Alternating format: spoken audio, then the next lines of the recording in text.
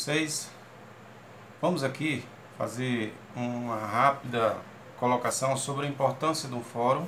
É, nós temos os fóruns feitos, desenvolvidos pela sociedade civil e os fóruns desenvolvidos pelo poder público. Desenvolvidos pela sociedade civil podem ser vários fóruns de discussões, painéis de discussões, estruturas de discussões, tanto em comunidades de redes sociais, como também em reuniões fechadas com grupos específicos ou reuniões abertas para a sociedade. Tá?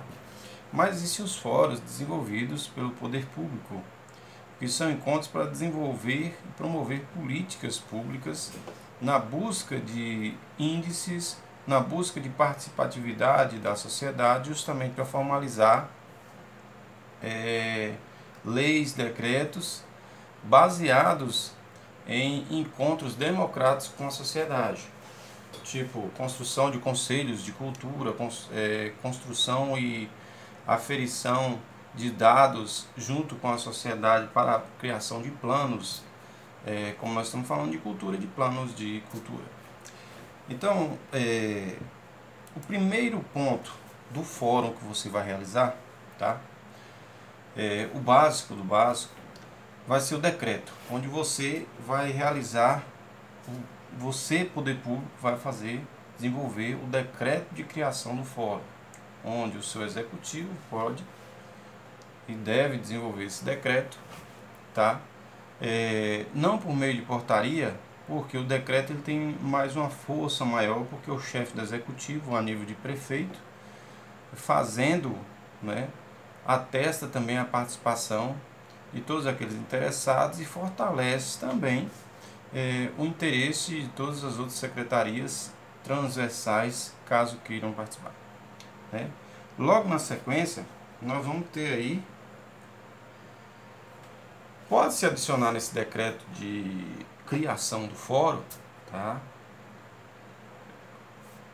a abertura de cadastro, certo? A abertura de cadastro de pessoas para se cadastrarem, é, caso queiram fazer uma comissão com participação da sociedade civil e uma comissão com participação assim de forma mais aberta e que a sociedade civil possa se inscrever, tá?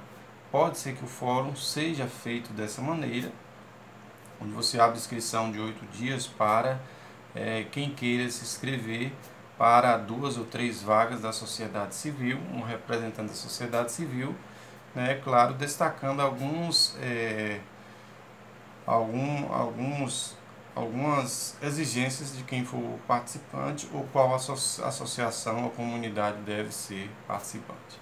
Ou caso não, o decreto ele pode também é, instituir já no decreto, caso não queira instituir a criação da comissão, né, pode se instituir no decreto já anexado no decreto é, um artigo onde consta da abertura de inscrição daqueles que querem ser delegados, que querem ser é, apenas ouvintes no fórum. Então, aí abre-se a inscrição das pessoas para X dias até o dia do fórum. Né? Geralmente, no credenciamento tem as inscrições para quem quer ser delegado e ouvinte, mas também muitos fóruns abrem antes também a inscrição para que não haja tumulto no dia da, do credenciamento. Né? E já tenha também os já prontos e tudo. Então é sempre mister a gente desenvolver antes o, o, o, o cadastro das pessoas que queiram participar do fórum, justamente para não ter o tumulto e ter já um material já prontinho, mais, mais bem feitinho. Tá? Logo na sequência disso aí, as inscrições do fórum no mínimo 15 dias, vai se decretar é, a criação da comissão do fórum.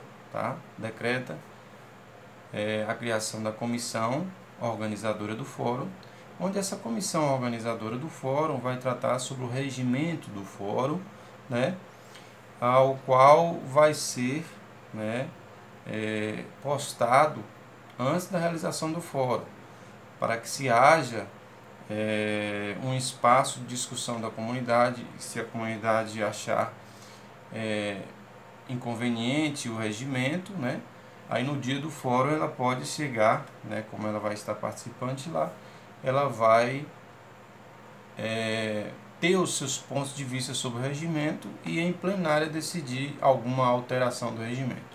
Porque saibam vocês que todo regimento do fórum deve se fazer a leitura do regimento no fórum, tá? Logo na, no início de, do encontro em si do fórum, deve-se fazer a leitura desse regimento, né? E que as pessoas com o regimento já lido em mãos, aí fica mais fácil você colocar opiniões e alterar alguns termos, algumas propostas. Tá? Então, logo em seguida, logo em seguida isso aí, você decretou a comissão organizadora, você decretou o regimento do fórum, 15 dias antes no mínimo da, da do próprio encontro, né, para as pessoas terem acesso ao rendimento para fazerem as suas alterações durante o, o fórum, vem a publicação do cronograma. Tá? A publicação do cronograma ela tem que ser no mínimo aí oito dias antes da realização do fórum, né? onde é, esse cronograma ele vai constar no cronograma, cronograma básico de quanto é encontro, né? É o local onde vai se realizar, o horário o horário de que hora até que hora vai durar, vai ser a duração desse fórum, então é simplificado, simplificado, é um cronograma simplificado, onde vai ter o espaço de plenária, certo? Se for por formação de conselho, se for por formação de é, alguma estrutura de planos ou escutas, né? então vão ter os horários da plenária, vão ter os horários de fala, então isso aí tudo no momento adequado, né? Os horários de, os horários de sessões culturais. Logo em seguida a publicação do cronograma, o fórum em si. Né? O fórum em si, onde é claro, todo fórum você vai ter aí é, a criação de crachás para delegados e convidados e ouvintes, né? Os convidados são os que vão fazer a mercê da mesa e os ouvintes. Então isso aí, gente, não tem é, essa dificuldade do fórum. Geralmente o fórum, é, quando é da sociedade do poder público, né? ele é para desenvolver políticas e fortalecer e criar alguma política importante naquele setor. Estamos falando do setor cultural, a exemplo, um fórum, um encontro para discutir o plano de cultura. É importantíssimo isso, um fórum para se formar o Conselho de Cultura, para se discutir o sistema municipal de cultura.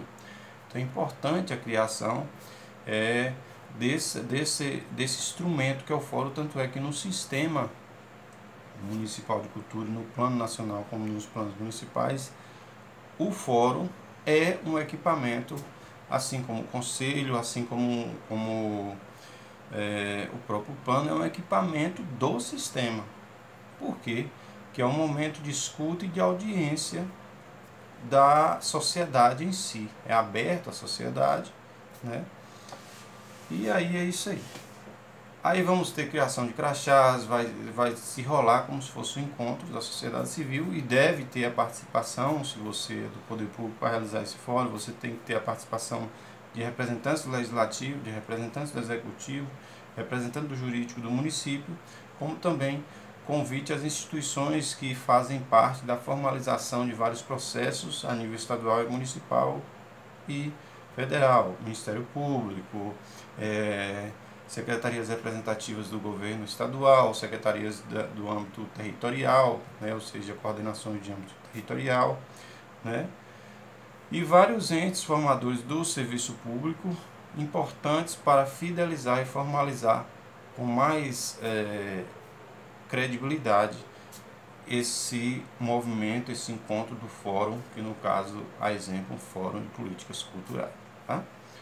Então é isso aí, foi uma, uma palhinha rápida sobre o passo a passo básico dos fóruns e políticas, fórum de políticas culturais e várias outras políticas também. Beleza? Compartilha aí pra gente. Até mais, gente.